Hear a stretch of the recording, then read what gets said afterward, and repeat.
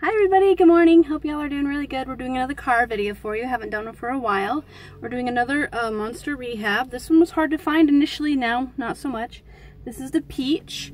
Um, it is open because I've had to try attempt this video more than once. So we're going to pour it in this little cup for y'all. Ooh, I might be able to get the whole thing in here. Look at that. Perfect. This McDonald's cup is perfect. All right. It smells like peaches. Hmm. This one is pretty tasty. I do like it a lot. I do like it a lot. Alright, so I don't have my chart with me. So, I'm avoiding a cute couple of the day today. So yeah. Anyway, that is the Monster Rehab Peach Plus Tea. It's in this cup right now. It's pretty color.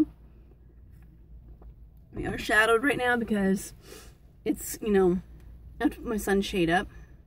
It's also the first time I'm debuting the extensions at church, so yeah. Not much else to tell anybody, tell y'all about whatever else is going on. Um, not a whole lot.